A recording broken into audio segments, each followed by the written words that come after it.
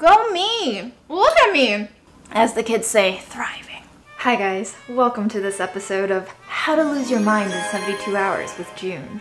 It's almost Christmas, and therefore we are doing a Christmas edition of Budget Eats. However, it is not any budget eats. The theme here today is extravagance. Julia has given me a budget of $100.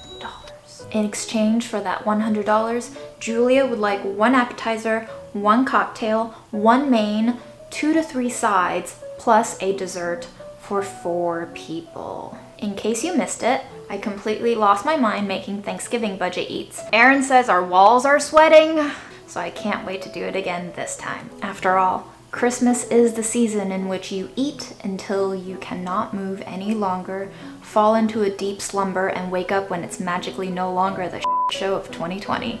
That's the true gift of the Christmas season. Now, personally, I didn't grow up with a Christmas feast tradition, so I went on my Instagram, I polled all of you, and asked you what defines a Christmas meal for you.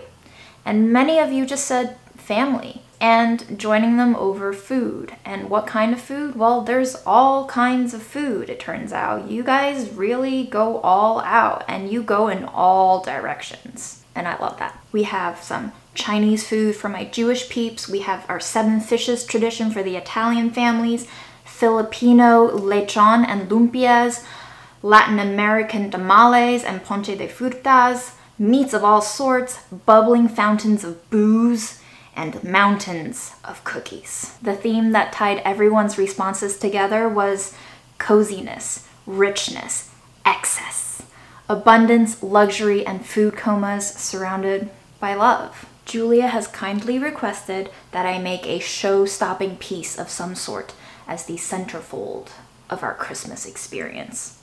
To which I thought, duck. I don't like duck that much. It's a little bit too fatty, too flavorful, and just too much. But that precisely is the point of Christmas, isn't it? Of course, Aaron loves duck. That will be my Christmas present to Aaron. I think my goal here with the $100 budget is not to buy more. It's to buy better. If I bought $100 worth of $1 produce and all of my usual budget hacks, I will never be able to finish cooking. I will die on this kitchen floor. Do you want to see that? I don't know. I don't know what you guys are into. Unfortunately, there's no truly ethical consumption in our world, but there are smaller businesses that embody having more ethical and more responsible production practices. So I took a walk to my local farmer's market and I showed up too late. It was 1 p.m all the meats were sold out, unfortunately. As far as dessert, I also knew that we were going to need chocolate and cocoa powder, and believe it or not, the cocoa industry is pretty messed up too. There's actually a great website that gives you a list of all the chocolate companies that have committed themselves to producing chocolate in a more ethical way by having a more transparent sourcing process. So if you want to check that out, we'll have that link down below in the description box for you. I met up with William from Raaka Chocolate. He gave me this whole stash of chocolate products that were basically scraps that could not be processed further into bars for sale. There's a lot of chocolate.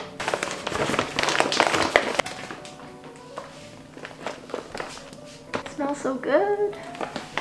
For my remaining produce, I just hit up my local grocery stores. I got a duck, I got some pork belly, I got a bag of salmon scraps for only a buck.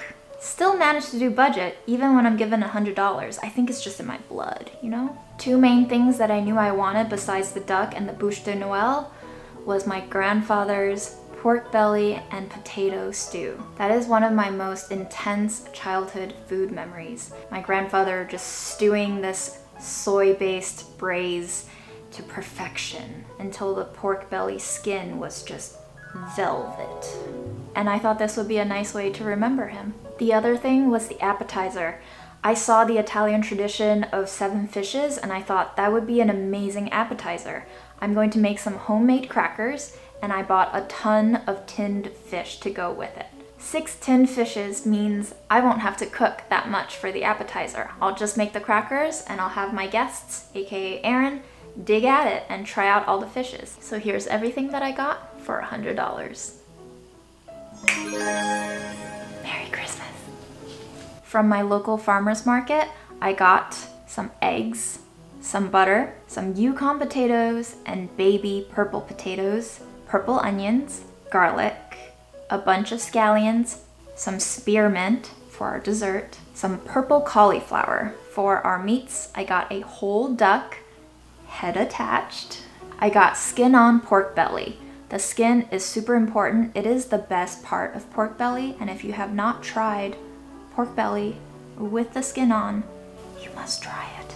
I also got some salmon scraps, and then I went ahead and splurged on some cheese. Cheese is always good. We just haven't had cheese yet on this show. Today's the day to try all the things that we've not had money to try. I also got a nice cute bottle of olive oil from Portugal. And for our canned fishes, I got canned eel, canned mackerel, canned tuna, canned sardines, canned calamari, canned sprats. I wasn't really crazy about the idea of eating vegetables on Christmas because, you know, what's the point? But we will have some. I got English cucumber, I got carrots, I got grape tomatoes, and a little bit of ginger, as well as a Honeycrisp apple, five limes, five lemons, and a whole bag of discounted oranges that don't seem to be doing too good, but we will make do. I also got a pomegranate.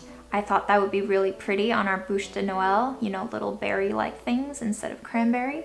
And I got a bottle of Martinelli's sparkling apple cider. I don't drink, Aaron drinks. Maybe we'll pop a little alcohol in his serving for him, but for me, sparkling apple juice.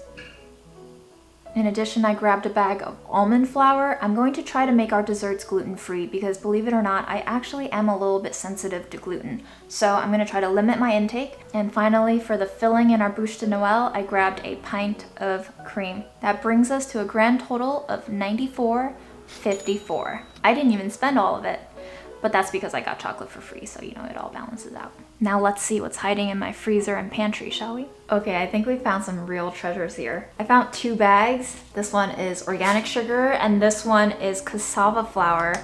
And I believe I took these from the free table back when I was still at the Delish Test Kitchen. We'll use this in our cookies and cakes. This I'm thinking with our cheese, we can turn into a thing that I've always wanted to make that I've never gotten to make and that's pão de queijo. It is a Brazilian bread, I guess? A cheese bread, a gluten-free cheese bread.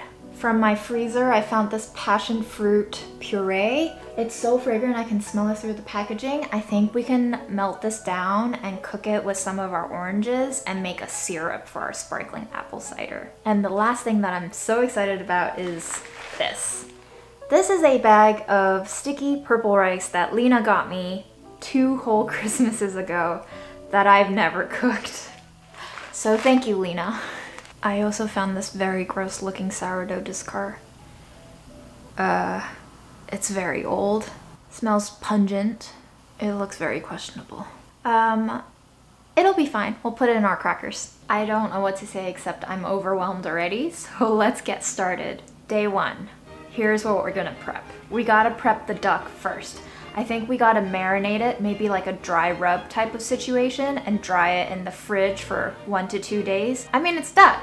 How badly can I f it up? For my duck, we're gonna go ahead and massage the bird. And then after that, we're going to blanch it very quickly in hot water. We're going to pat it dry, and then we're gonna coat the inside and outside of the bird with some sugar and salt. After that, we'll make a soy-based sauce brush it over and let it hang in the fridge until it's nice and dry. That skin should crisp up in the oven once roasted if we allow it to get dry in the fridge. We're going to bring some water up to a boil. While the water is heating, we're going to set up a little contraption that can hold the duck in the fridge without letting any of the sides touch the pan. I know a lot of you are starting to hit the dislike button because you see a head of a duck attached to the body of a duck that we're about to consume, but if you're gonna eat meat, I think you have to come face to face with the fact that you are eating meat.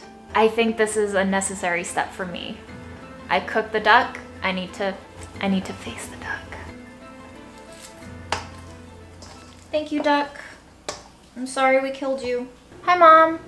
呃，我买了一只鸡，呃，不是，我买了一只鸭，然后那一只鸭还有头在上面。一般头是可以可以做熟的吗？是可以。 OK，那一般怎么做呢？你？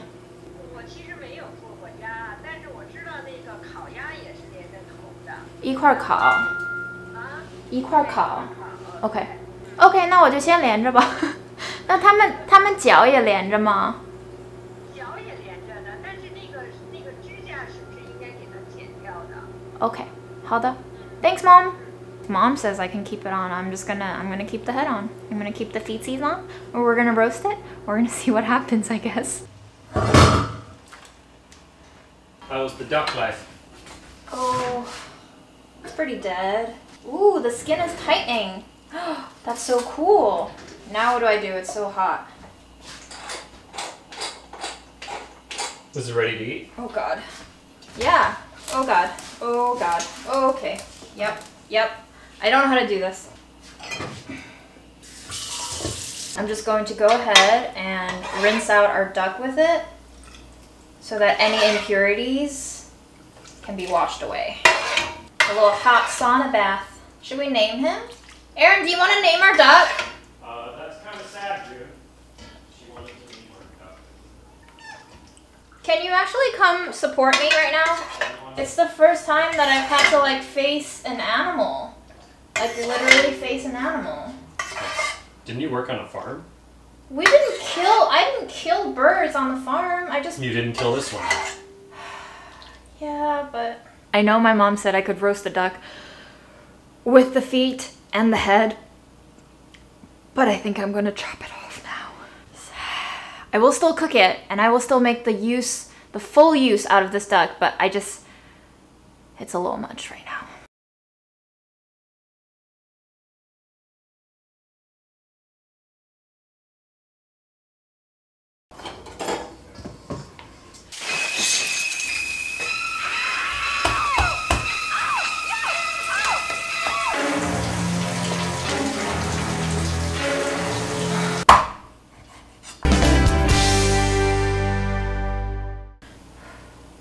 Going to mentally collect myself for a minute, and then we're gonna rub the duck with some salt and sugar inside and out. I'm going with about two tablespoons of each, just gentle massage.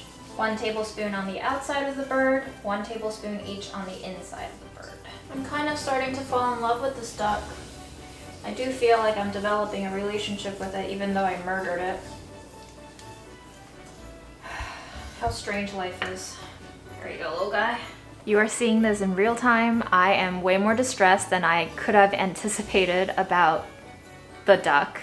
And um, we're gonna let that baby rest for an hour and we'll glaze it with our soy mixture. I just... Mm. Dear Ducky, I thought you were just food, but even in death, you taught me what it means to feel. There's a lot of feelings right now inside me. I don't even know how to process it. It's a great time to do dishes. Now I'm going to sanitize the crime scene with vinegar. Hope it erases my sinfulness. I think I'm hyperventilating. Okay. While we're waiting for this duck to sit in salt and sugar, I think we're gonna go ahead and make some pickles because duck tends to be pretty fatty, I think having some carrots, a little bit of onion, and a little bit of cucumber pickled will go very nicely with our roast duck.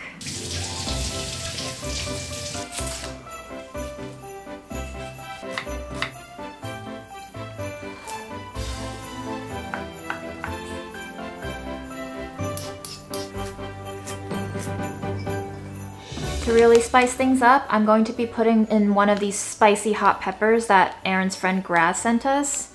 I think these will make the pickles Aaron style.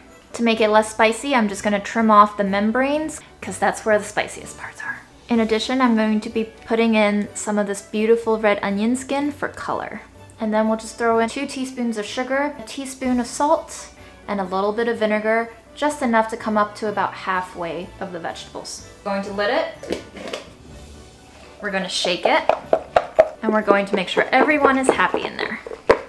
So the reason why you don't need the vinegar to fill all the way up is because as the veggies sit in it, they're going to lose their moisture, the salt's gonna pull it out, and then you'll magically have more and more liquid and less and less vegetable volume. So it'll all work out. We're just gonna let this sit in the fridge and give it a nice little shake every now and then and pretty soon it'll be pickles. Remember when I was like, I have so many things stuck in my kitchen that I'd never use? Well, this is one of them. I think I bought this maybe two years ago because I saw it on the shelf at my Chinese supermarket and I was like, that looks cool. Let me bring it home, research, never opened it. But apparently this stuff is what gives a lot of Chinese roast meats and other dishes their red hue. So I think I'm gonna crush about two tablespoons of this and put it in our soy sauce glaze for the duck. For our duck soy glaze, I'm going to eyeball about two tablespoons of soy sauce, one tablespoon of grated ginger, two cloves of grated garlic, two tablespoons of rice wine vinegar, one teaspoon of cooking wine, one tablespoon of my homemade six spice powder, but you can substitute five spice powder, a quarter teaspoon of white pepper, a teaspoon of ground black pepper, two teaspoons of ground chili pepper, and one tablespoon of this ground red rice yeast. It's been an hour, so we're gonna drain our ducky. We're going to wipe him down with a little bit of paper towel action. And once he's all dry, we're going to smear that soy sauce paste on top. He almost looks like he's cooked already, isn't he? Is there space is the main Oh, okay. I did it. It's done. We can eat. Yeah, let's eat it. Let's eat ducky. Guys, I'm so exhausted already. But at least the duck is resting. Thank God. Okay, so next up, we're going to make our sourdough cracker dough. I've never made it with almond flour before, so this will be quite a trip. So in a large bowl, I'm going to take some almond flour, some of our cassava flour, a little bit of baking powder, sugar, salt, and about three tablespoons of your choice of seeds or grains. You can put whatever seeds you want in here. I'm going to be going with some sesame and a little bit of flax, you know, for health. And I'm also going to be putting in some crushed fennel as well. I love that savory flavor of fennel. Perfect. We're going to drizzle in some olive oil and we're going to dump in our sourdough discard. We're going to go ahead and mixy mix this until everything's thoroughly combined and well distributed. Then we'll go in about two tablespoons of olive oil and we're gonna mix that in really well. Once the dough is evenly distributed and it holds shape and it feels a little bit like pie dough, you can go ahead and add in your sourdough starter and your water. Now, I just realized that sourdough starter isn't gluten-free, but I can't let it go to waste. So we're gonna drain off that gross looking liquid and we're gonna use the rest of that starter up. We're going to work that in with our hands until the dough forms. This is what you're looking for. It forms a solid block, it doesn't stick to your hands, it crumbles a little bit, but if you squish it, it holds shape. Put it in a resealable airtight container, let it rest in the fridge overnight, and we'll roll it out and bake it tomorrow. We're gonna make some dough. You're going to crack two large eggs and you're going to separate out the whites. Then you're gonna put them in a bowl and whip them until they're soft peaks.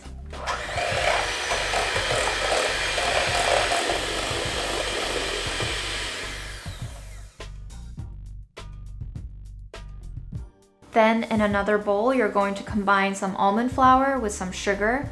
Whenever I'm zesting citrus, I like to hold the microplane this way so that you catch all the zest and you get to observe clearly which parts of the citrus you've already zested. You don't want any of the white parts because that's where the bitterness comes from. We're going to put the zest into our sugar and we're going to rub it into the sugar until the sugar looks like it's very orange. You're going to pour into the egg whites a little bit of almond extract, a little bit of orange blossom water, and a little bit of amaretto if you have it. And then you're going to fold the dries into the egg whites until everything is nicely combined, no dry spots remaining. It's going to look and feel a little bit gluey, but that's fine. We're going to let this also sit in the fridge overnight in an airtight container. But we're gonna make one more thing. We're gonna make some gluten-free chocolate chip cookies with our endless Raaka chocolate scraps. Do you want a piece with white chocolate or black? Do you think this would be good in a chocolate chip? It would be incredible, yeah. I cannot cook like this, Aaron. Go We'll get find a yourself a blanket. This gluten-free chocolate chip cookie is actually already on our site, so you can click here for the recipe. For this one, we're going to need about three ounces of melted butter, along with a quarter cup of brown sugar and a quarter cup of granulated sugar. We're gonna plop in one egg and we're gonna let that all mix together until it's nice and smooth. We're gonna go in with a splash of vanilla extract and then we'll dump in our almond flour along with a little bit of our tapioca starch, aka cassava flour. We got a quarter teaspoon of baking soda, teaspoon of kosher salt. The best thing about a gluten-free chocolate chip cookie is you don't have to really worry about over mixing because there's no gluten that you can develop in this dough since it's gluten-free.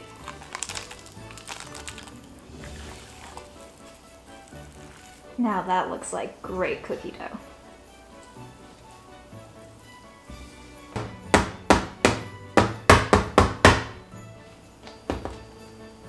So we've made two cookie doughs, but I still have about a cup of almond flour left and I would love to use it. I also have those two egg yolks left over. And I feel like two cookies isn't quite the right number for a holiday dessert. I feel like you need the magic of threes. So let's make one more cookie. I know that one cookie that Aaron really likes is snowball cookies. It's basically a very nutty, ground nut based cookie that's very powdery. It's coated in confectioner sugar. I don't have all purpose flour, but I have almond meal. So in our very dirty cookie dough bowl, I'm going to put some softened butter and some powdered sugar, and I'm just gonna whip it and cream it until it's nice and fluffy. Ooh, that's messy. And then we'll fold in our egg yolks, and then I'll put in a little bit of salt, Maybe a little dash of pumpkin pie spice because Aaron loves that flavor profile. Ooh! That definitely just went into the salt. What is life? A tablespoon of our cassava flour, a little splash of vanilla, and our remaining almond flour.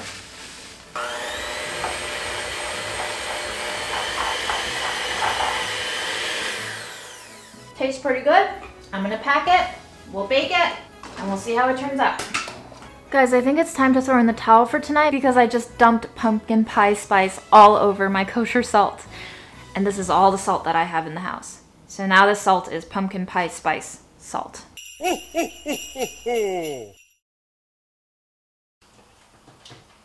Welcome back. It's day two. I'm going to drink some tea and then wake up. All right, I'm ready. We have a lot of things on the agenda for today. We are going to be making our pork belly braise. I'm thinking of putting some potatoes in there, some goodies. We'll wing it. I, and then we're gonna move on to the salmon soup. That should be easy and relatively easy to heat up tomorrow too when we finally eat. Potato salad. I'm going to be making a version of what I remember my mom making for me when I grew up, which always has pieces of apples in it. Then we're going to be prepping our Yule log cake. We're gonna be baking off the cake. We're going to let that cool. We're going to frost it with some whipped cream filling. Then we're gonna roll it up and then we're going to decorate the outside nothing's gonna go wrong, of course, in that 80 step process. And then I'm thinking about making a passion fruit syrup for the mocktail because I don't drink, but we'll put in a little alcohol for Aaron. After the passion fruit syrup, I'm going to move on to an orange glaze for the duck and then a tuna salad for our appetizer. And I hope that dog stops barking soon because it's driving me crazy.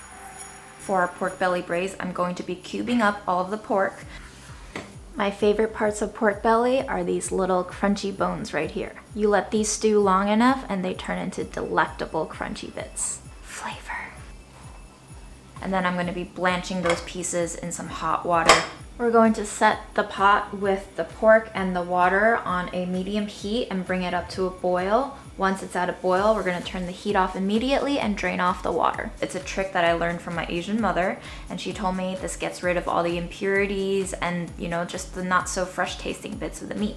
After it's been blanched, I'm gonna put those pork cubes in my cast iron Dutch oven because this is gonna be a big, long stew. I'm going to be putting in half of an apple, diced. When I peel apples, I like to preserve the peel, I think, the peel has most of that apple flavor concentrated in it. I'm gonna go ahead and use two different soy sauces here. One is a little bit fresher, lighter, your average soy sauce that you usually get. And this one I found a couple of weeks ago, mushroom soy sauce. It's got a little bit of like wise dinosaur taste to it.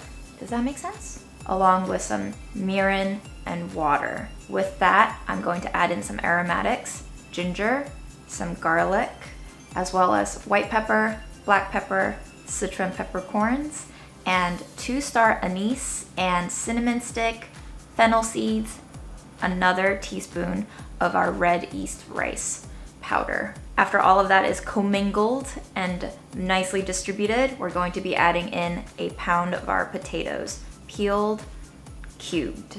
When it comes to potato sizes, it really does not matter. The more variation you have, the more variation in texture you have when you finally get to eat it so that some pieces are creamier and some pieces are slightly more solid. And it's just all good, you know? I love diversity. My grandfather used my grandfather used to Oh my god, this car outside. Yes? Yes, sir? I remember eating this dish as a kid and just remembering how silky the pork tasted. My grandfather would basically let this cook and simmer until all the potatoes became part of the broth and the meat relinquished its essence into the broth as well. And then the broth turned into the sauce that just coated every single bite and everything became one. So after about an hour and 20 minutes of cooking, the pork belly stew is perfect.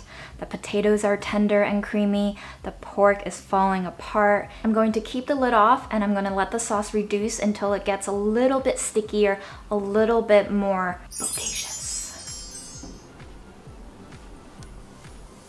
For the salmon, we're going to do the same blanching process because I got salmon scraps. They're probably not high quality. They might not be that fresh. Once our salmon is blanched, I'm going to go into the pot with some olive oil, a little bit of garlic, a little bit of ginger. The ginger helps wick away any remaining fishiness and it gives you that nice, clean, healthful, fresh taste. We're going to let those aromatics toast for maybe 30 seconds, one minute, and then we're gonna go in with some halved grape tomatoes. I'm hoping that this will give it some sweetness, some acidity, some nice body to the soup. Then we'll add our salt, salmon, white pepper, black pepper, and we'll just let it stew away until it smells fragrant and looks milky. The broth should turn this slightly opaque color. That's when you know flavor is all in. After about 25 minutes, our fish stew is done. I'm going to take it off the heat, set it off to the side. I'm going to go ahead and start prepping our potato salad. I'm going to rinse them really well because I'm going to keep the skin on and then I'm going to cube them. When it comes to cutting these baby potatoes up, size does matter. I want them to cook at the same rate so that they're the same texture inside the salad. These are freaking gorgeous. I'm going to blanch them in water until they're very, very tender. I don't want them quite falling apart, but just on the edge of like completely disintegrating because I like my potato salad with no crunch from the potatoes themselves. I like my baby food textures and this is how smushy I like my potato salad potatoes to be. Very mush, very creamy, very hot, hot, hot. We're gonna chop some carrots, chop some onions, chop some apples, throw it in with our potatoes, and then we're gonna make a mayo vinaigrette. To make our mayo dressing, I'm going to take mayo and combine it with one chopped anchovy fillet. I know a lot of you aren't into the fishy taste, but try it, try it once, try it once. And we're going to whisk it with some lemon juice, a teaspoon of sugar, a little salt, a little pepper. And I think for Aaron's sake, maybe we'll just add in a little bit of chili in some form, huh? How's your life going, June? Oh, you know, mayo everywhere. It's beauteous. We're gonna slap a lid on this, let it rest in the fridge overnight, and then come back to it and eat it tomorrow when it's even better. Oh, I need a bigger fridge. Okay, I was gonna start on the bûche de Noël and then I remembered. Do you recall yesterday at the end of my very long day, I said, hey guys, we have a cup of almond flour left. Let's make some cookies with it. That was supposed to be for the bûche de Noël cake. However, I do still have cassava flour left, so I think I'm going to be using that instead. I could use all-purpose flour as the original recipe calls for, but what's the fun in that? Might as well try something new, and if it fails, then we learn something. The Yule log that I'll be making today is based off of a awesome recipe by Mackenzie. So if you want to make a tried and true one and not an experimental one with cassava flour, click here. We have the recipe for you. For the first part of this dessert, we're gonna bake the cake. We're gonna take our eggs, we're gonna separate the egg yolks from the egg whites. For reference, all of the eggs that I'm using are about 55 grams or so. Your eggs may vary, so if you're a stickler for numbers, 55 grams per egg is what I'm using. We're going to beat them separately and then we're gonna fold them together to make this genoise cake. A quarter cup of sugar is going into the egg whites and a half cup is going into the egg yolks. If you're baking at home and you only have one hand mixer and you don't feel like doing a washing in between, I'd recommend that you whip up your egg whites first and then move on to the egg yolks. That way you don't contaminate the egg whites with fat from the egg yolks.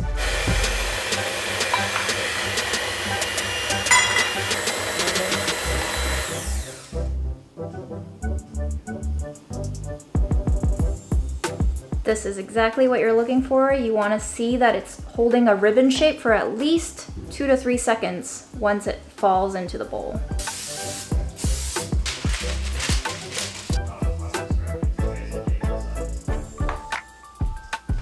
Cocoa powder, peppermint salt, set aside. We're going to be pouring the egg yolk mixture into the flour first and folding it in very gently. Turn your bowl as you go, under, over. Once all of your dries are mostly incorporated, we're gonna go in with one batch of our egg whites. We're going to add the egg whites in batches. This way you don't deflate all of the fluffy egg whites with this heavy, dense, floury mixture. When you go in with your second batch of egg whites, just be very gentle. This is the point at which you don't want to deflate your batter. Should be nice and silky, smooth, but still fluffy, almost like mousse. Once it's on the tray, even it out and push it to the ends of your baking sheet, but don't go too crazy because you don't want to deflate all those nice little foamy air bubbles that will keep your cake afloat. Middle rack, about 10 to 12 minutes, maybe 15. I think I had like two pieces of chocolate for breakfast, so I'm ready for a snack. Let's make those potato chips. Very simple. On a sheet tray, I'm gonna dump out all of our potato peels. I'm gonna toss them in a little bit of olive oil, a little bit of salt, a little bit of chaat masala and black pepper, and then we'll let it roast when the cake comes out until it's nice and crispy.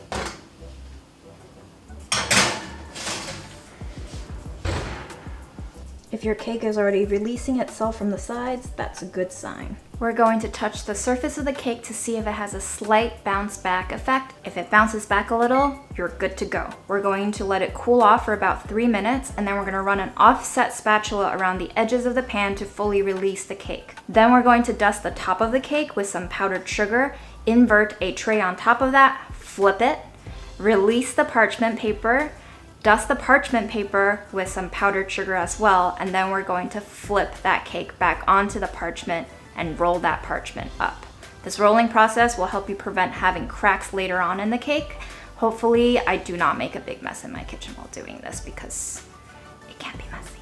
The golden window for rolling this cake up is within seven minutes of coming out of the oven. Once you have it rolled up like this, let it rest seam side down on your tray until completely cool. In the meantime, we'll make our whipped cream. Fun fact, this is my favorite part of any cake making process. That little bit that gets stuck to your pan that has all of the oils that you sprayed the pan with.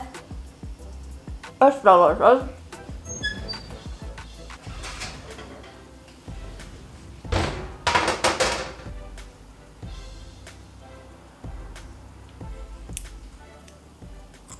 Potato chips, Yeah. you say? Mm-hmm. These almost look like potato skins. They are potato skins. So they're potato skin chips. yeah. Do you know that I love skin of anything? Duck skin, pig skin, potato skin, Well, you were chicken getting skin, all three. June skin. Ew.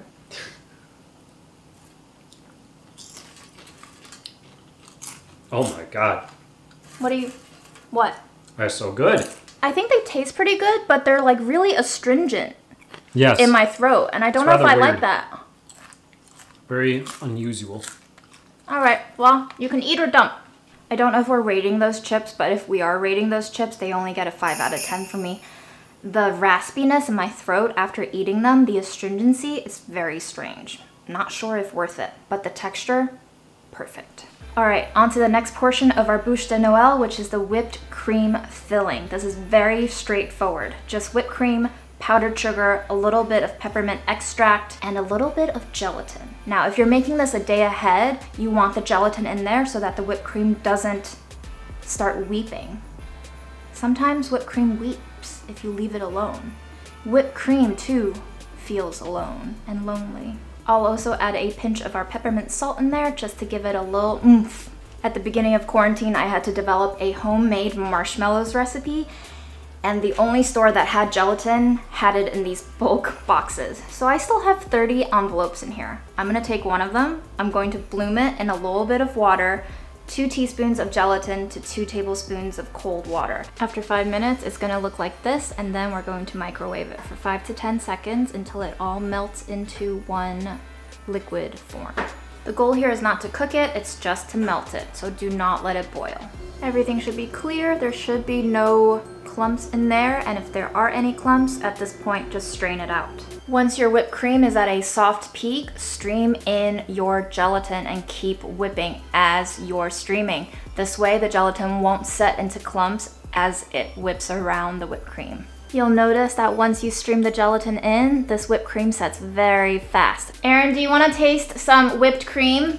You know my answer. Whenever you ask me if I want to taste This something. is so good. Is it pepperminty enough? Mm, I could go a little heavier on the peppermint actually. Oh But- my god. It also needs some chili. You have no taste buds. Go away. Go. For the record, I think this tastes amazing. I'm going to set this bowl of deliciousness in the fridge to let it chill down a little bit, and then we'll frost our cake once that's cool too. Next up, as the sun sets down on us, let's make some passion fruit syrup for our mocktail. I'm going to be using half a packet of this plus the zest and juice of a couple of oranges as well as our apple peel from earlier and I also found some frozen cranberries left over from our Thanksgiving challenge.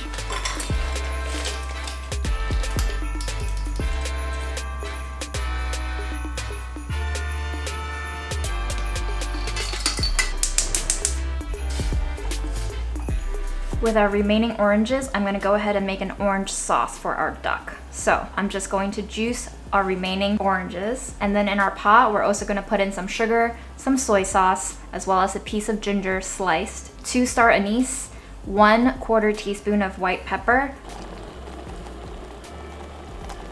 This is the orange sauce with a lot of orange juice.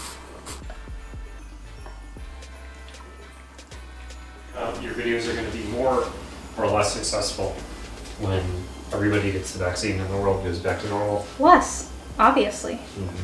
This is the relatable content. Are you afraid of that? No, because my work does not represent me. This is our cran apple orange passion fruit syrup slash jam, and I'm just going to lid it and we'll keep it in the fridge until tomorrow. Ooh, it is incredibly tart, but would go great with the Martinelli's. Our soy orange sauce has reduced nicely. We're going to strain it and put it in a jar as well. Okay, I think we're finally ready to frost our cake. The whipped cream is chilled, the cake is chilled. Let's roll.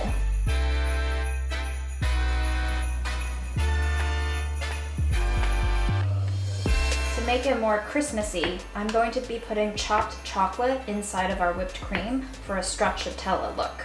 Then we're gonna roll it up using the parchment as tightly as we can.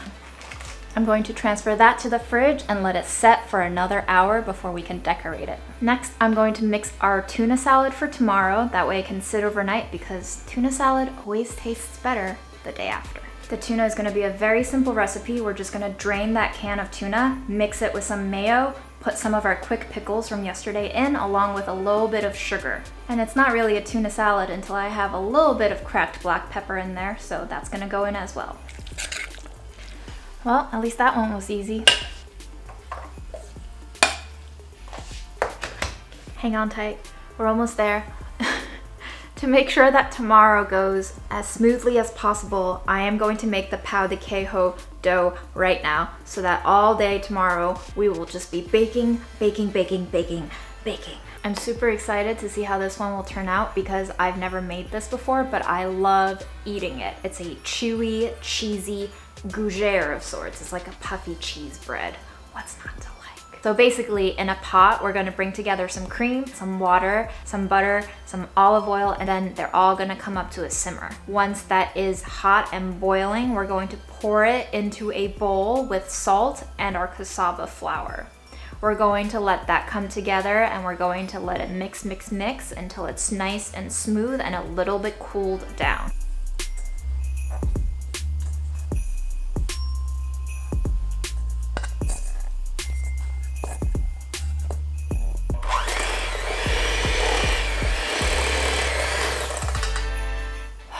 At which point we will crack in two eggs one at a time until that dough looks nice and silky.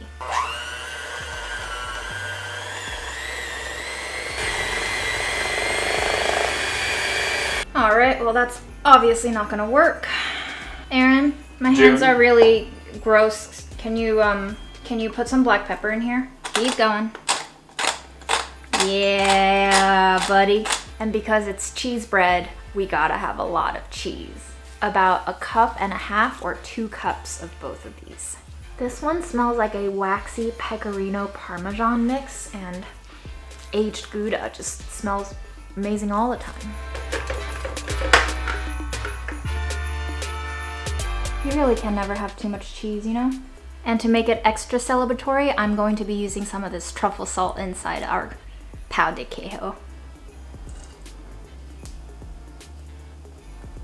So cheesy!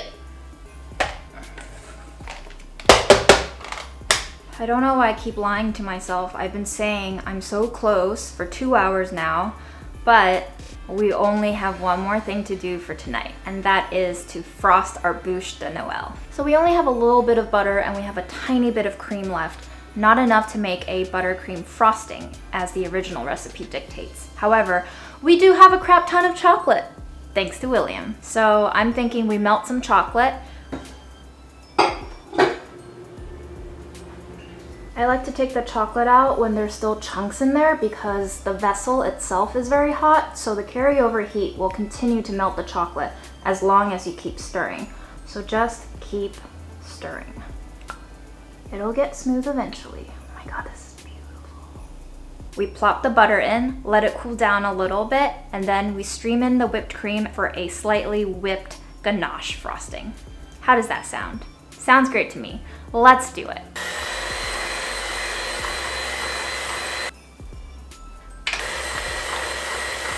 If you ever notice that your chocolate looks a little bit broken, just add in a little bit more cream.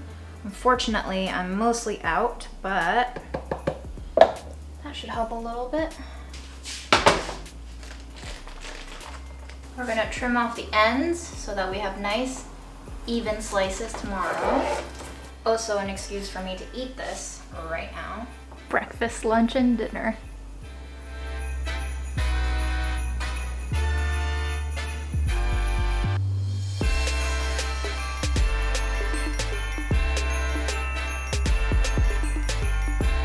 All right, guys, uh, it's 7.51 p.m.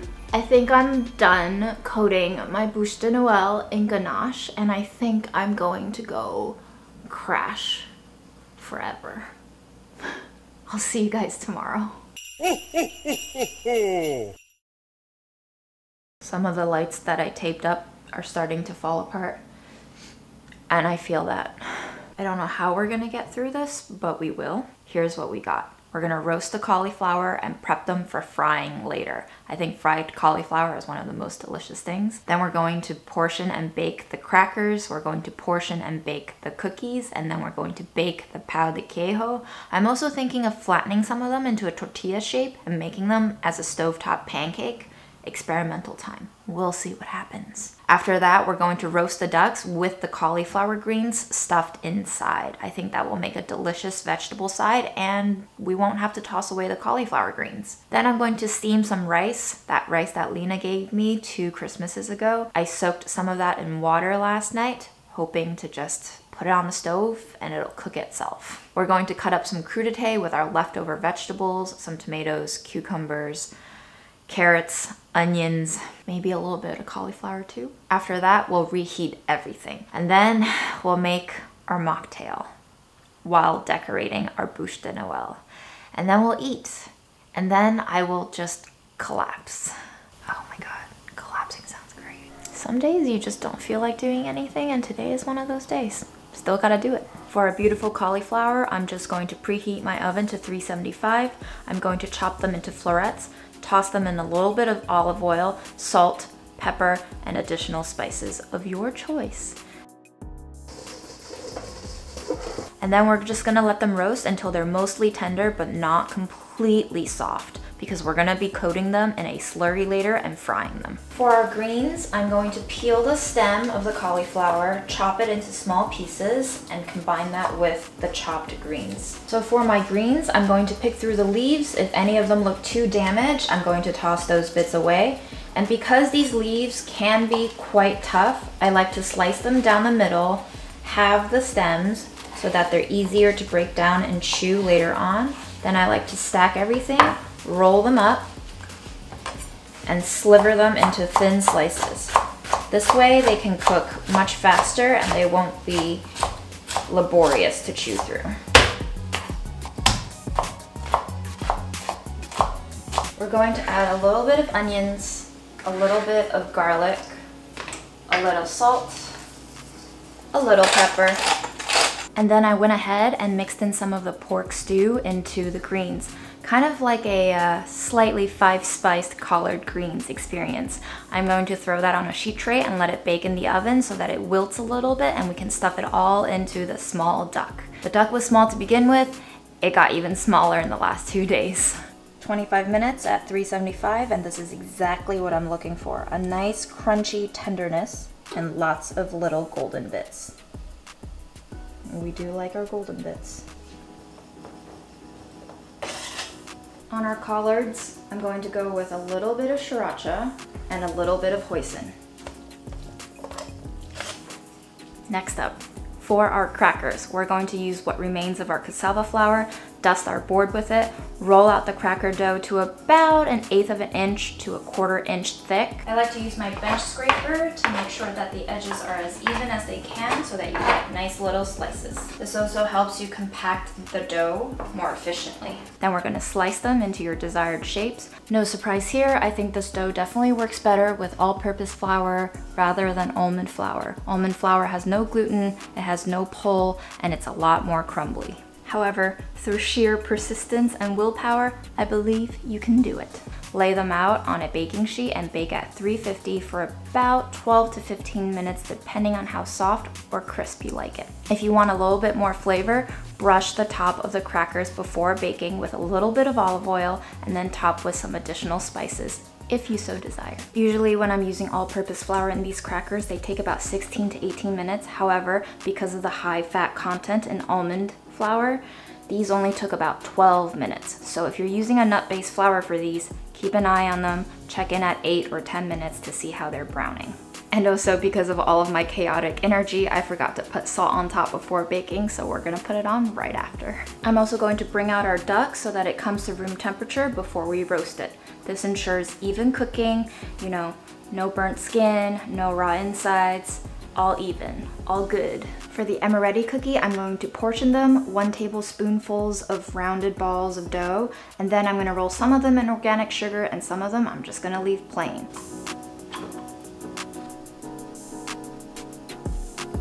Three twenty-five for about 20 to 25 minutes until they're nicely golden on the outside.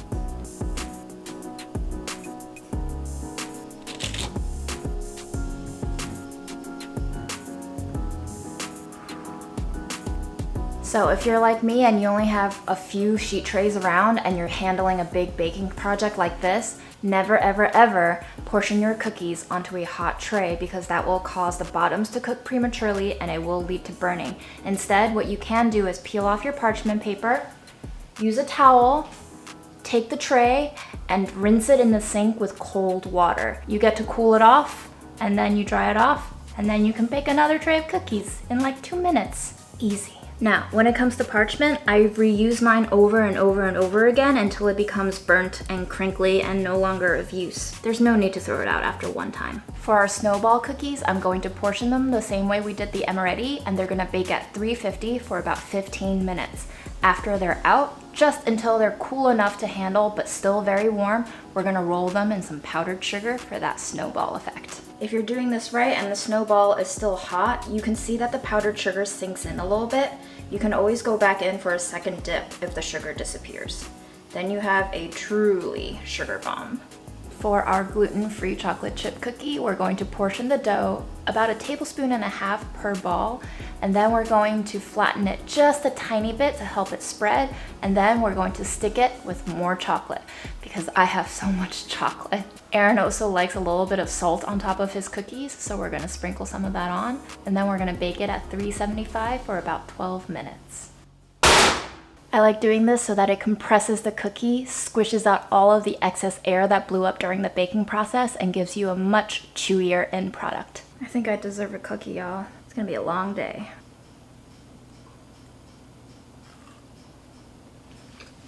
I roasted the cauliflower greens until they were pretty crunchy and crispy, almost like roasted Brussels sprouts. I wanted to concentrate the flavor of the greens as much as possible and also remove as much of the moisture as possible so that it doesn't have to like moisten the duck skin once it goes into the duck. Also just makes for great snacking. It's getting, it's getting so hot in here. Pao de queijo. We're gonna turn our ovens up to 400 degrees. We're going to scoop them out on our sheet tray, spaced apart about two inches. If you ever find that the dough is too sticky to handle, just dampen your hands. It will release perfectly. And then we're gonna bake them for about 20 to 25 minutes until they turn a nice, even golden color. Since it's my first time baking it, I'm gonna check in at about 10 or 12 minutes, see how it is, turn it halfway. Hopefully it's beautiful. These flat pao de queijo look very promising.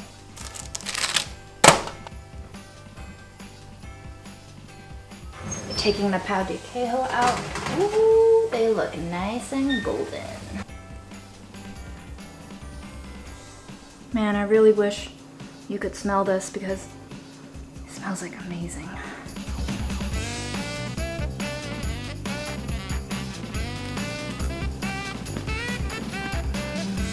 It's soft, it's warm, it's chewy, it's cheesy, it's perfectly toasty. Next up, we are gonna prep our ducky friend. I've no doubt that if I were to leave that rub on during the bake, it would all burn. So what I'm gonna do is take a paper towel, dampen it, and we're going to do our best to gently wipe it all off without getting the skin soggy or too wet again. So for our duck, I'm going to clip off the neck and then I'm going to put its feetsies and the neck inside the carcass along with our stuffing so that they can all cook together without burning too much. To prevent the skin of the duck from sticking to my rack, I put a piece of our leftover parchment from our cookie bake on top and then I slivered it with a knife. That way, the fat has somewhere to drain, but the parchment will protect the metal from sticking to the skin of the bird. I tied up the legs so that they weren't too far apart, but still enough so that all of the leg could get exposure to the oven heat, and then I tucked the fat from the tail over them to protect them from overheating and burning. For the wings, I clipped off the tips, I put that inside the carcass as well.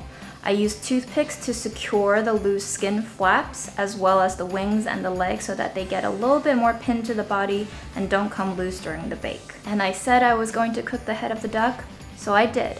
But I know you guys didn't want to see it, so I put the head of a duck in some parchment with a little bit of soy sauce and a little bit of mirin, and then I salted it just a tiny touch, and it's gonna roast in there. And then I'll eat it, and you'll never know what it tastes like. Do you hear this? It's not even like five minutes into the bake yet, and it's already fat sizzling everywhere. I don't want to clean this up. As the duck continues to intimidate me from the comfort of the oven, I'm going to be working on a crudité platter where I just cut up all of our remaining veggies, and then I'm going to be steaming some of Lena's rice, and we'll heat up all of our stews and soups from yesterday. Whenever I make any form of glutinous or sticky rice, I like to rinse it Put it in a strainer, put the strainer over a pot of boiling water, and literally just steam it. There's no water touching the actual rice. It's gonna go for about 20 minutes. I'm going to spoon off some of the fat that's on the tray. I hope you like duck fat, Aaron.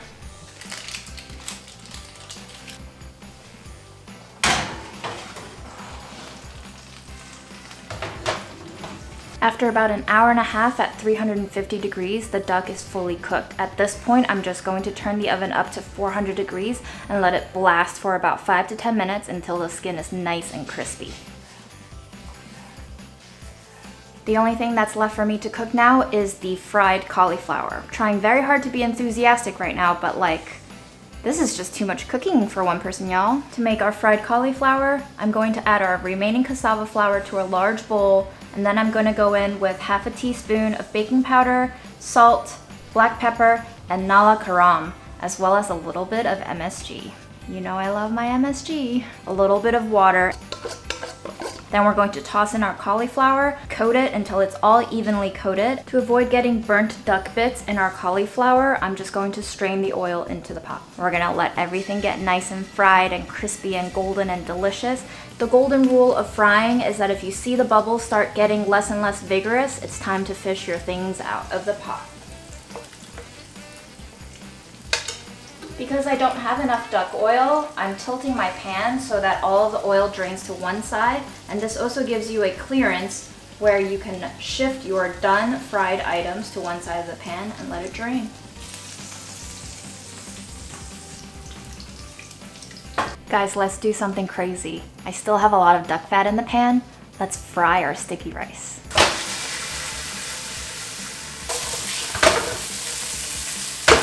On top of the fried black rice, we're gonna put a little bit more of that Indian spice mix, and then we're gonna give it a nice little toss with the spoon.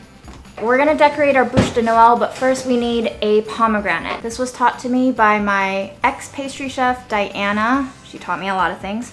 But basically you make a square cut and then you use your thumb against the stem to push this bit out. You take each of the vertices and you make that diagonal slash so that you create a point at which you can basically petal the pomegranate out. There we go. To decorate our bûche de Noël, I'm just going to put some sprigs of spearmint around it and some pomegranate seeds, some powdered sugar on top for that little holiday wintry forest look. What's a snowy Christmas song? Snow bells jingling in snow time, ringling snow outside. While it's snowing, look at the snow go. If anyone wants to give us voice lessons, hit us up in the comments. Aaron, are you ready to eat all of this? Yeah, I think I've eaten two bites of cookie today, and it's uh, almost five, so yeah, I'd say I'm ready to eat. There are a lot of things to eat. Let me show you all that we have cooked over the past three days. Is this enough for $100, Julia? Is it? All right, lovely Aaron is going to narrate for us all the courses that we have. But first, a drink. Okay, Aaron, what is our cocktail mocktail of the day? Uh, it says sparkling apple cider mint julep with passion fruit syrup and a splash of alcohol for Aron. Aaron. Okay, so funny thing is, I've never had a mint julep, but I know it has mint in it and a little bit of rum and a little bit of sugar. So we're gonna take a jar, we're gonna put some mint down in the bottom of the jar, and then we're gonna smash it. We're gonna put our puree down the middle, and we're gonna smash that in too. And then we're going to and then we're gonna pour some apple cider in there and we're gonna give it a little swishy swish. Y'all, I've been cooking way too long. Just give me my. Yeah, the menu says splash of alcohol for Aaron, but are you sure you don't need one? I just... Ooh, this smells nice. Did you invent apple cider mint julep? I don't know, did I? Happy holidays, June. All right, chef, ratings on the cocktail mocktail? It's some of my first calories of the day, so 10 out of 10. This is the way to do it. You starve him. Yeah. You starve him. It's really great. I usually go for whiskey heavy cocktails, you know, stuff with bitters, brown liquids. Well, this is brown of its own sort. Not too much sweet, fruity stuff, but this is great. I like Very eating the mint. Yeah, of course you would.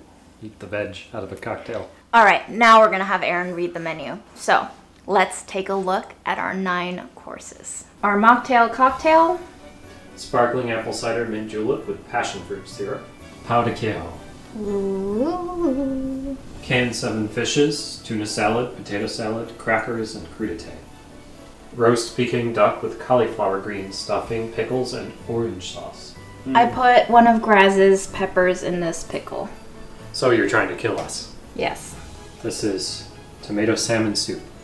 Grandpa's five spice pork belly and potato braise with glutinous sticky rice. I have one bowl of steamed black glutinous rice, and then I have one bowl of fried glutinous black rice. fried in what, June?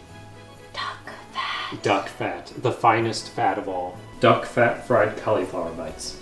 Chocolate peppermint Yule log using cassava flour, stracciatella whipped cream, and ganache frosting. Just so you guys know, it is pitch black outside right now. These are assorted cookies, including almond chocolate chip, pumpkin spice snowball cookies, and orange blossom amaretti. Hold that. Holding. Do I know how to cut it? No. Am I going to cut it? Yes. Let's get some stuffing in there. Which side are you going for? Oh, wings. You're just tearing. Oh my god. Aaron, what the f- are you doing? You suggested this yesterday. Don't pretend you didn't say, let's just tear our wing off and eat it. I have no idea what I'm doing. Easier than I thought. Very nice. Should I take a bite? Take a bite. Just like that? Just like that. Do it. But it's been weeks you've been making this meal and I just bite it? Let's do it. Oh. Mmm. Oh, sweet sustenance. so most family holiday meals are like around a table, you know, pass the salt, please. Please, sir. Mm, oh my god. May I have the salt shaker? Mm, But here we are, standing in the kitchen, tearing into a duck wing. Yeah. Thank you, Mr. Duck. I'm Thank sorry, you. are you're so delicious. Huge disclaimer is that this is not Peking duck, okay? This is not Beijing Kaoya at all. There's no skin, crispiness, none of that. But it is a delicious duck, nonetheless. Is that the famed grass chili right there? It is. Jesus. Mmm. That's way more tender than I was expecting. What you do you cooked mean? this perfectly. I did? Mm-hmm. Ooh, yeah, I love that. Mm. I thought I loved the wing, but man. After all this work, I'm gonna give myself a 10 out of 10 on this duck. It's freaking yeah, fantastic. This whole this whole thing here. Mm-hmm. There's a ten bowl right here. You like the stuffing? Yeah. I like everything. Go me! Look at me! As the kids say, thriving. The meat of the duck isn't so moist that it's like juicy, but it's just moist enough that it's soft and it's very pleasing to bite into. Then you pair it with the clean and crisp scallion and cucumbers. It wicks away all the fattiness of the duck and it just leaves you with a very satisfying bite that's both savory and sweet. That's a lot of words to say. It good. I think these pickles are part of the reason why Aaron gave me a 10 out of 10 because he finally got his spicy on the first go around. Thanks, Graz. Do you think my haters want to see me eat this? Yeah. Want to see me get punished? This Here's- is for all the haters. Enjoy. Oh, it's not so bad. Actually, yeah, a lot of the heat. Okay. I was going to say a lot of the heat got seeped into the rest of the uh, pickles, but uh, I'm feeling it. What's our next course? Pao de queijo. We have the traditional one that's in this little pocket ball form, and then I made like this pancake thing that's kind of cold and dry now, but it's still good. Yeah, cheesy. Mmm. It's so good. Oh my god. I've only had pao a few times. This is the best one I've had. Woo! Out of like three. So, I'm still first place out of three. it's first place, yeah. I'm gonna give myself an 8.7 on that one. I don't know. I'm trying to find ways to not give you a 10, but it's like, this is exactly what I want from Pao. I would say, I guess the only thing I can think of is it's not like a choux pastry inside, you know?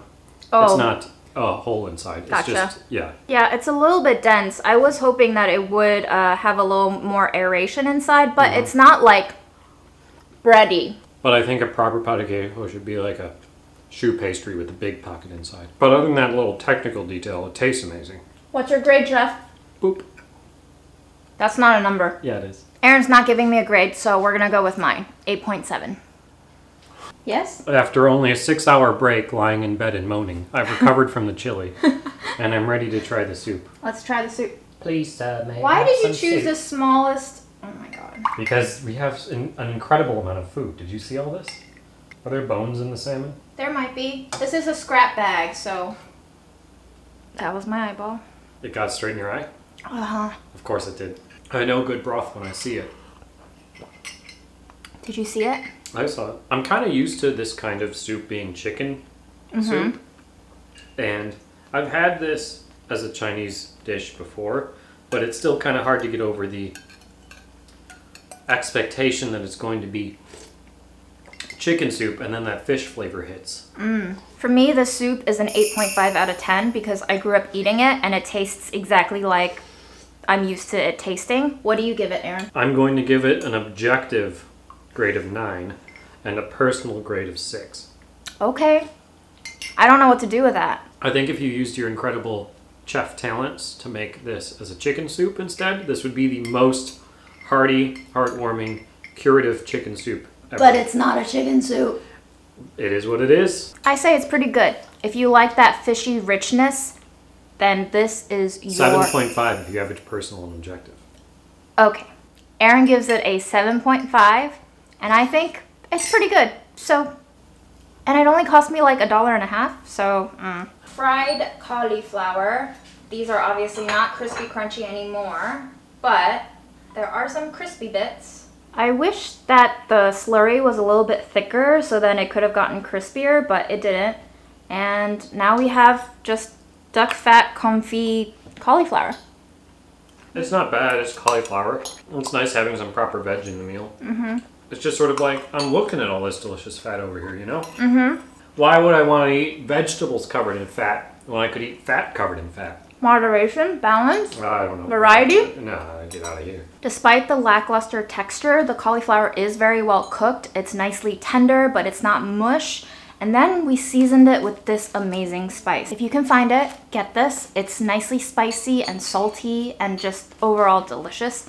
And I really taste it in the cauliflower and it's very complementary to the usual toastiness of roasted cauliflower. I'm gonna give the cauliflowers a seven.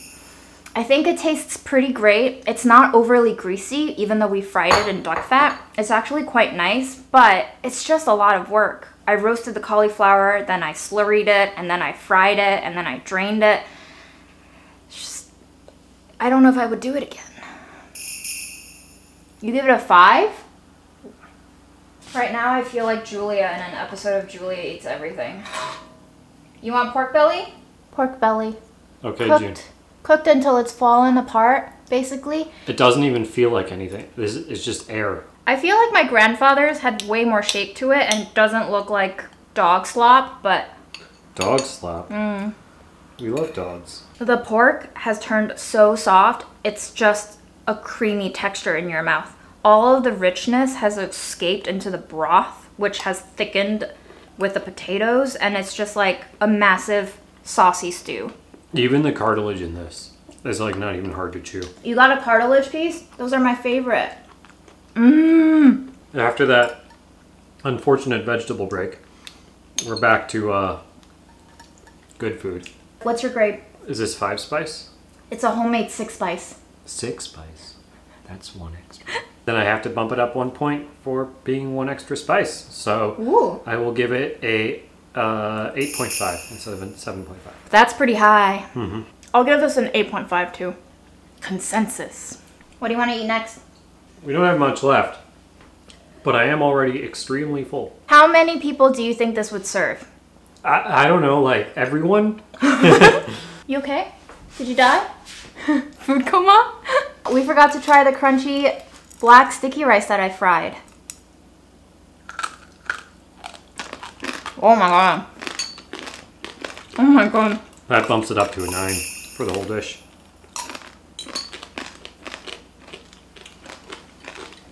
Ooh, what vegetable would go Oh. great with anise? I think tomato. Try a tomato. Does that work? Mmm. Mm-hmm. For Wow. all you Michelin three star chefs watching, and I know many of you watch June, your next dish should be anise and tomato. Tomato tart with powdered anise in the pie crust. Is it anise? How do you pronounce it, YouTube? Comment below. Aaron, I got this local purple cauliflower, which you ate fried and you didn't like, but it's so crunchy and tender. It's so good. He doesn't like it. Guys, I don't know if I can eat anymore. I'm, I'm approaching a critical level. I'm gonna eat the potato salad, just a bite. Don't you hate potato salad? Yeah, I don't know what I'm doing. Mmm. Try one.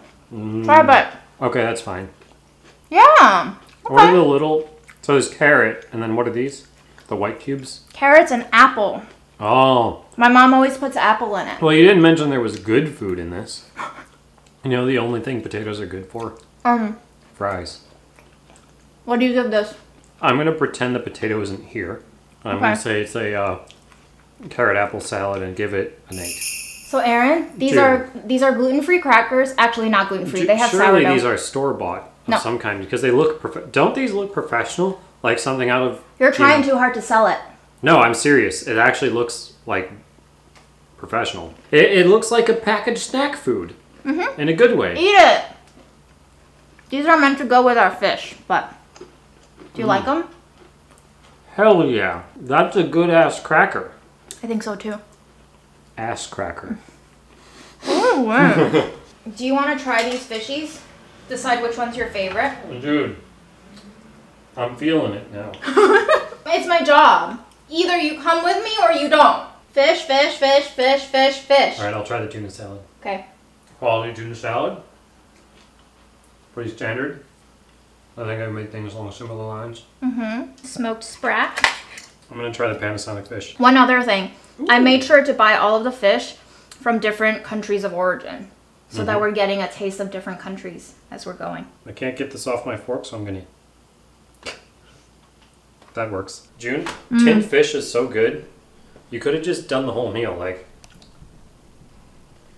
only tinned fish, and I'd be super happy. Okay, can I get a combo score for the entire appetizer, including potato salad, almond crackers, almond multi-seed crackers, tuna salad, and five canned fishes? Combo score.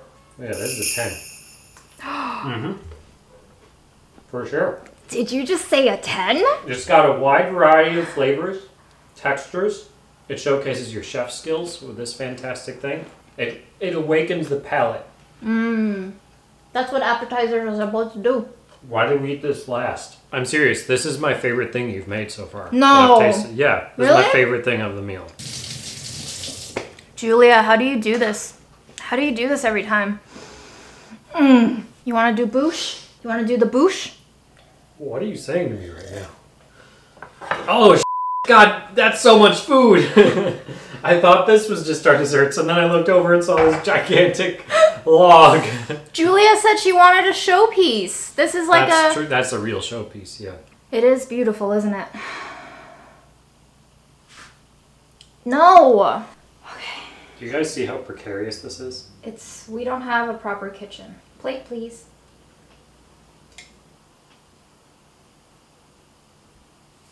Try and get a piece of cake and ganache. Mmm. Mmm. Mmm. Mm. Mm. I don't want a pomegranate seed. Please try it. Grudgingly. Huh. What do you think?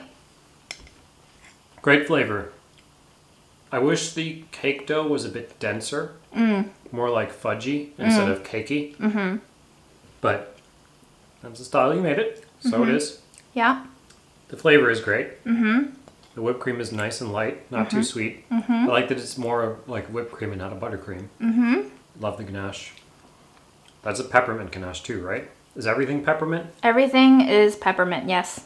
Hell yeah. I think I Sure. killed. I think I killed Aaron. Okay. We still have It's a whole pile of cookies. There's a pile of cookies. Wait, you didn't ro- you didn't rate the Yule log yet. It's, you know, it's food. I just Uh. spent three days making it, dude.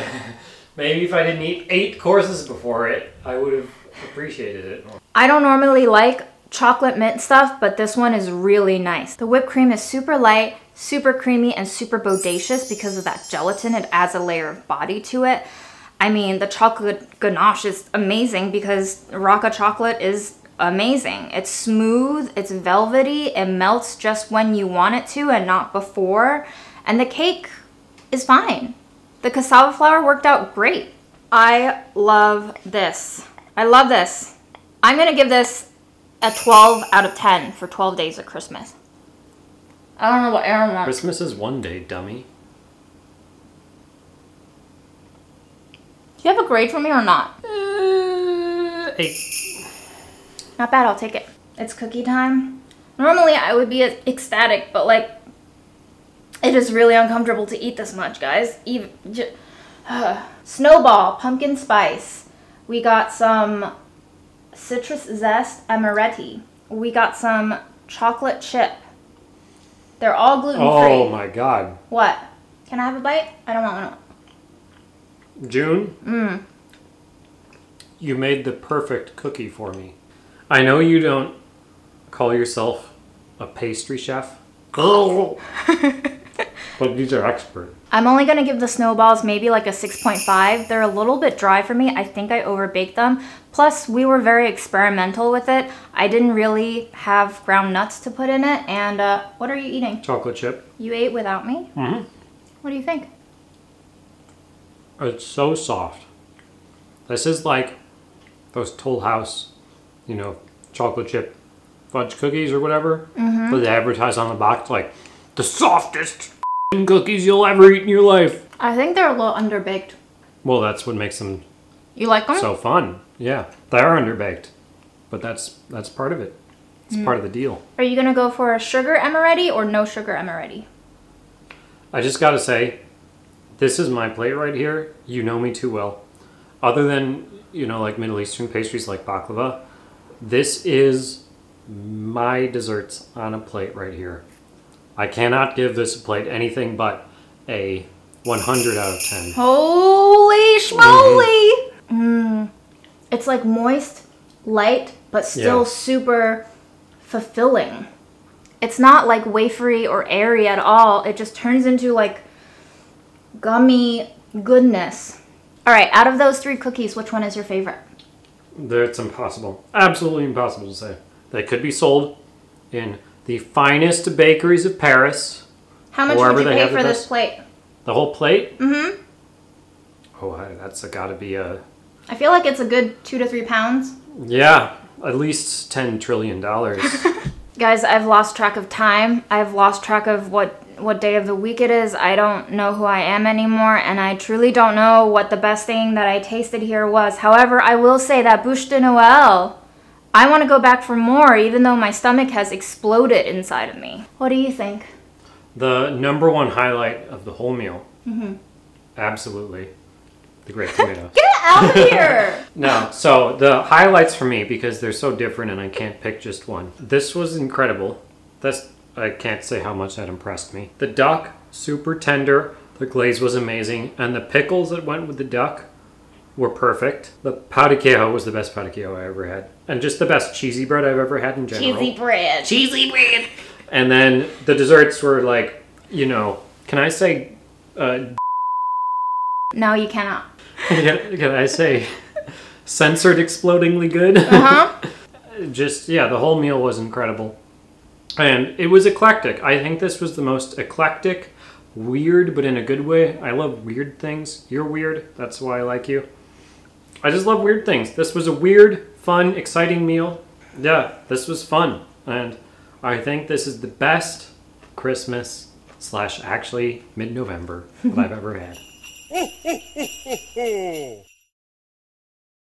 Guys, it has been a delight. I'm leaning on my cupboards because I will fall if I don't. I have no words. Merry Christmas. Happy holidays. I hope you're staying safe. I hope you're staying healthy. I hope you're staying sane. Look out for each other. Take care of each other. And stay hydrated. Even though those trucks are so noisy outside. See you next time.